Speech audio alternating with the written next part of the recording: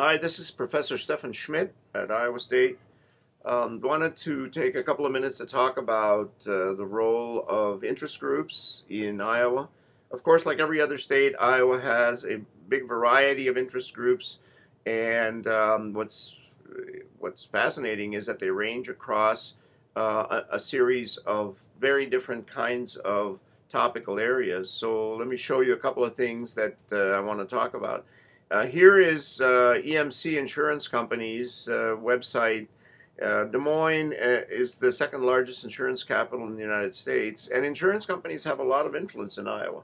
Um, Wellmark, Blue Cross Blue Shield, the principal financial group, EMC Insurance, and others are very big players. They contribute to campaigns, they contribute to community, um, uh, you know, civic organizations, um, and they are very powerful because they account for a significant percentage of uh, employment in the state of Iowa. So insurance companies are definitely an interest group that I would have you keep your eye on. Of course, we live in Iowa, which means agriculture is very important, and I've got the uh, website up here for the Iowa Farm Bureau.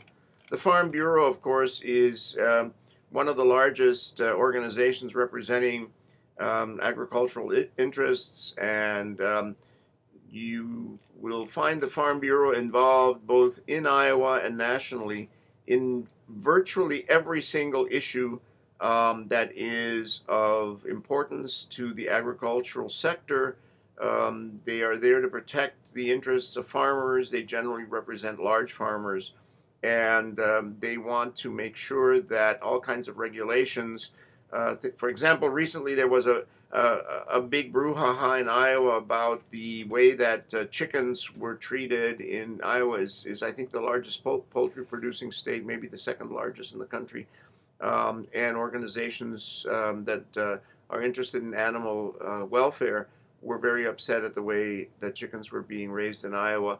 And, and immediately the agricultural community uh, started talking about how it was very dangerous, you know, to go too far in that direction because uh, it would undermine the uh, uh profitability of these uh, animal agricultural enterprises.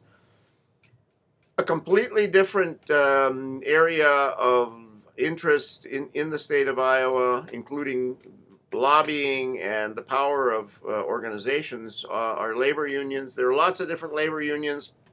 Um, I pulled up the uh, American Federation of State, County, and Municipal Employees website, which you can see right here. It's AFSCME. AFSCME is uh, in many places now uh, the largest or one of the very largest players because they represent, as it says there, uh, employees who work for different levels of government uh, at the at the state level, and um, they uh, are there to basically protect jobs. They are there to improve the uh, salaries, income, working conditions, and so on of organized labor, and they play a significant role in the um, sort of uh, legislative agenda that uh, the, the, the Iowa legislature um, has to uh, work through each legislative session. Of course, for the fact that there are labor unions, there are also uh, business uh, interests. And the um, voice of business in Iowa is the Iowa Association of Business and Industry. It is a very powerful organization.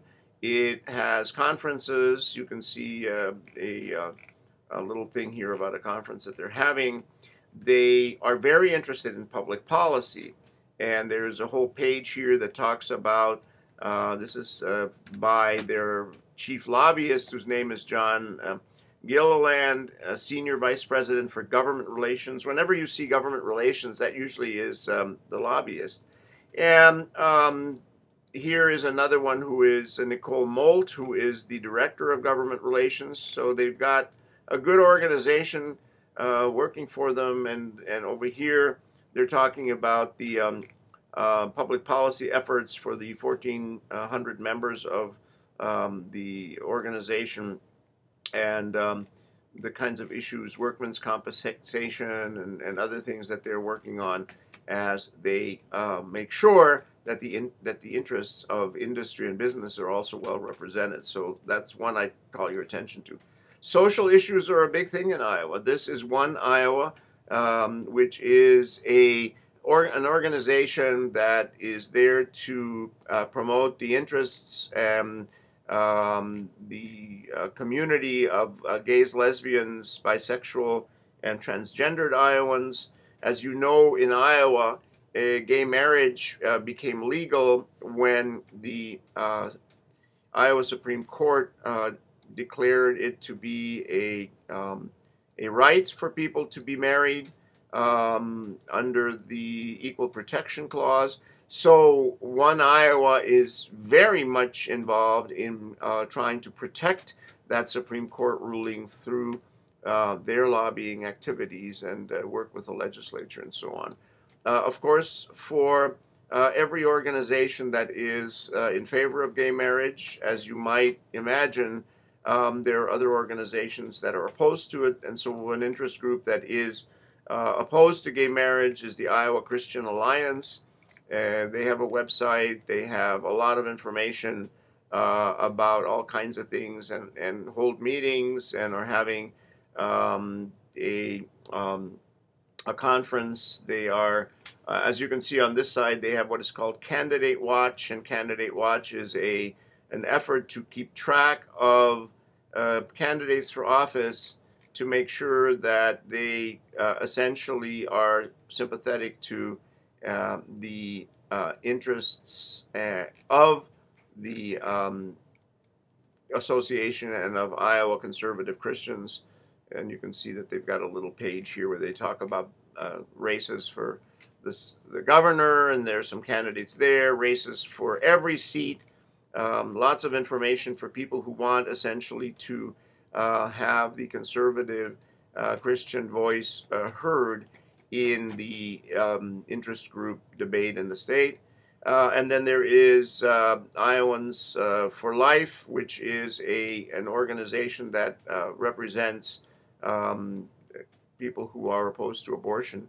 And you can see that they have a website talk about um, a nonprofit or organization that dedicated to protecting innocent human life and so on and so forth. Um, and, and this is just a tiny sampling of all of the interest groups that exist in Iowa, and, and you can you can blog those, you can look for them, um, and they are a dynamic part of the state, and they play a very big role in shaping public policy and also public opinion. So take a look at it. Thank you very much.